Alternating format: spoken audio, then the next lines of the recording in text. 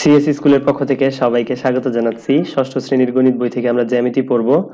অনুশীলনী ছয় দশমিক দুই। এখানে অনেকগুলো প্রশ্ন আছে। আমরা এই ভিডিওতে এক থেকে পাঁচ পর্যন্ত সমস্যাগুলো সমাধান করব। প্রথমে শূন্যস্থান পূরণ করতে হবে। কতে বলতেছে সমকোণের পরিমাপ। সমকোণ আগে আমরা একে নিই। দেখো তো, পরিচিত মনে হচ্ছে না? আগে আমরা অনেক কথা বলেছি সমকোণ নিয়ে। তো এটার মান হচ্ছে নব্বই ডিগ্রি। খতে বলা হচ্ছে সূক্ষ্মকোণের পরিমাপ, সমকোণের পরিমাপ অপেক্ষা। অপেক্ষা বা থেকে মানে সূক্ষ্মকোণ সেটা কি নব্বই ডিগ্রি থেকে বড় হবে না ছোট হবে? অবশ্যই ছোট হবে। এটা একটা সূক্ষ্মকোণ আবার এইটা আরেকটা সূক্ষ্মকোণ গতে বলা হচ্ছে স্থূলকোণের পরিমাপ, সমকোণের পরিমাপ অপেক্ষা। কি কম না বেশি? তো আমরা প্রথমে একটা সরল কোণ আঁকি বোঝার জন্য এটা একটা সরল কোণ। তো সরল কোণকে যদি আমরা সমান দুই ভাগে ভাগ করি, তাহলে এটা নব্বই ডিগ্রি। আমরা জানি সূক্ষ্ম কোণ নব্বই ডিগ্রি থেকে ছোট হয়, কিন্তু স্থূল কোণ নব্বই ডিগ্রি থেকে বড় হয়, কিন্তু একশো আশি ডিগ্রি থেকে ছোট হয়। তো তাহলে আমরা যদি এখানে আরেকটা রশ্মি আঁকি, এই যে কোণটা পাইলাম আমরা, এটাই হচ্ছে স্থূল কোণ। আবার যদি আমরা আরেকটু বড় করি, তারপরেও কিন্তু এটা স্থূল কোণ হবে। কাজেই এখানে হবে সমকোণের পরিমাপ অপেক্ষা বেশি। ঘতে বলা হচ্ছে সমকোণী ত্রিভুজের। তো আমরা একটা সমকোণী ত্রিভুজ অঙ্কন করি। সমকোণী ত্রিভুজ মানেই কিন্তু একটা কোণ নব্বই ডিগ্রি। তো তার মানে সমকোণী ত্রিভুজের একটি কোণ কত? নব্বই ডিগ্রি। বা সমকোণ বলা যেতে পারে এখানে। অপর দুটি কোণ কি হবে? সূক্ষ্ম কোণ মানে নব্বই ডিগ্রি থেকে ছোট। ওতে আছে এক ধরনের ত্রিভুজের ড্যাশ স্থূলকোণ এবং ড্যাশ সূক্ষ্মকোণ। তো আমরা জানি একটা ত্রিভুজের যদি একটা কোণ স্থূলকোণ হয়, তাহলে সেটা স্থূলকোণী ত্রিভুজ। তো এই জন্য এখানে হবে স্থূলকোণী ত্রিভুজের একটি স্থূলকোণ এবং দুইটি সূক্ষ্মকোণ। তো আমরা ত্রিভুজ অঙ্কন করে দেখাচ্ছি। এখানে একটা বাহু নিলাম, এখানে একটা বাহু নিলাম, এবার এখানে আরেকটা বাহু নিলাম। একটু বাঁকা হলো। খেয়াল করো, এই কোণটা হচ্ছে স্থূলকোণ। কেন স্থূলকোণ? কারণ সে নব্বই ডিগ্রি থেকে বড়, এইটুকু ছিল নব্বই ডিগ্রি।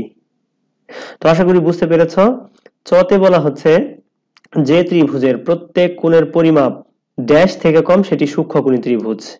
সূক্ষ্মকোণী ত্রিভুজ সম্পর্কে আমরা কি পড়েছিলাম? যে প্রত্যেকটি কোণ নব্বই ডিগ্রি থেকে ছোট হবে বা সমকোণ থেকে ছোট হবে।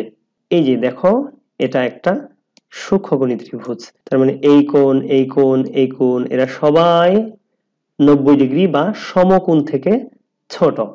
তুমি এখানে নব্বই ডিগ্রিও দিতে পারো বা সমকোণও দিতে পারো। তো এবার আমরা দুই নাম্বার দেখি। ইউক্লিড কোন দেশের পণ্ডিত ছিলেন? খুবই সহজ। গ্রিস। এরপরে আছে জ্যামিতি প্রতিপাদ্যের উপর লিখিত ইউক্লিডের বইটির নাম কি?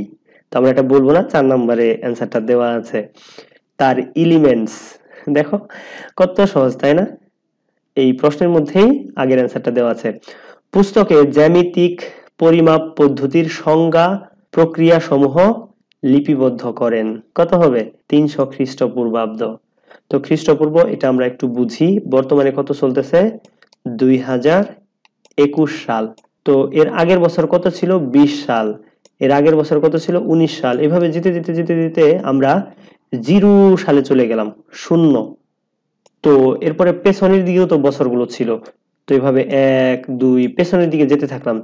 যেতে যেতে তিনশো পর্যন্ত যখন যাওয়া হয়েছে, সেই সময়টাকে বলা হচ্ছে খ্রিস্টপূর্ব। তো আশা করি তোমরা খ্রিস্টপূর্ব বুঝতে পেরেছ, যেটাকে আমরা ইংরেজি সাল বলি। এটা আসলে ইংরেজি সাল না। এই সাল গণনা শুরু হওয়ার তিনশো বছর পূর্বে এই বইটা লেখা হয়েছিল। পাঁচ নাম্বারে এখানে অনেকগুলো কাজ দেওয়া আছে। কিছু কোণের মাপ দেওয়া আছে, এগুলো অঙ্কন করতে বলতেছে। তো আমরা কীভাবে আঁকবো? আমরা চাঁদার সাহায্য নিয়ে আঁকবো। এই ত্রিশ ডিগ্রি এবং একশো ষাট ডিগ্রি, এই দুইটা আমরা তোমাদেরকে সহযোগিতা করব। তোমরা চাঁদার সাহায্য ছাড়া আঁকতে পারবে না। তো চলো তোমাদেরকে আমরা দেখাই কীভাবে তোমরা অঙ্কন করবে। এখানে তোমরা একটা চাঁদা দেখতে পাচ্ছ। এই চাঁদাটা তোমরা প্রথমে তোমাদের খাতার উপরে বা যেখানে কোন আঁকবে, সেখানে স্থাপন করবে বা রেখে দিবে। তো রেখে দেওয়ার পরে খেয়াল করো, এই যে এখানে একটা দাগ পাবে, এখানে ছোট প্লাস চিহ্ন থাকবে, এটাকে ধরে এই যে দাগটা আছে, এইখানে দাগ টানবে। দেখো, এখান থেকে এই যে শুরু হয়েছে জিরো, দশ, বিশ, ত্রিশ, এই যে ত্রিশ দাগটা আছে, এইখানে তুমি একটা বিন্দু নেবে। এরপরে চাঁদাটাকে তুলে নেবে, এখান থেকে এটা যোগ করে দিবে। এই কোণটাই হবে কত ডিগ্রি? Thirty degree. তো এবার আমরা যদি একশো ষাট ডিগ্রি অঙ্কন করি, তাহলে কীভাবে অঙ্কন করব? তুমি এই দিক থেকেও অঙ্কন করতে পারো, আবার এই দিক থেকেও অঙ্কন করতে পারো। তো আমরা একদিক থেকে অঙ্কন করি, এখানে আবার একটা ছোট্ট বিন্দু নিলাম। এই বিন্দুটার নাম হচ্ছে ও বিন্দু, এটা হচ্ছে আমাদের শীর্ষ বিন্দু হবে। তো এটাকে আমি এভাবে টেনে দিলাম, এটা একটা রশ্মি, এখান থেকে শুরু হয়েছে। তো দশ, বিশ, ত্রিশ, চল্লিশ, পঞ্চাশ, এখানে এসে নব্বই হলো, এভাবে যেতে যেতে খেয়াল করো, এখানে একশো ষাট। তো এইখানে তুমি পেন্সিল দিয়ে ছোট্ট করে একটা বিন্দু নেবে। এরপরে তোমার যে রোলারটা থাকবে, এই রোলারটা ধরে এই যে ও বিন্দু, এটা যোগ করে দিবে। তো এই যে দেখো, মস্ত বড় একটা কোণ পেলে। এই কোণটার মান কত? একশো ষাট ডিগ্রি। তো উল্টো দিক থেকে কীভাবে অঙ্কন করবে? আমি দেখাচ্ছি। এখানে একটা রশ্মি নিলে এটা আমাদের বিন্দু। যেখানে আরেকটা রশ্মি এসে মিলিত হবে। তো তাহলে এই দিক থেকে তুমি গুনতে থাকো দশ, বিশ, তিরিশ, চল্লিশ, পঞ্চাশ, নব্বই, এই তো একশো ষাট।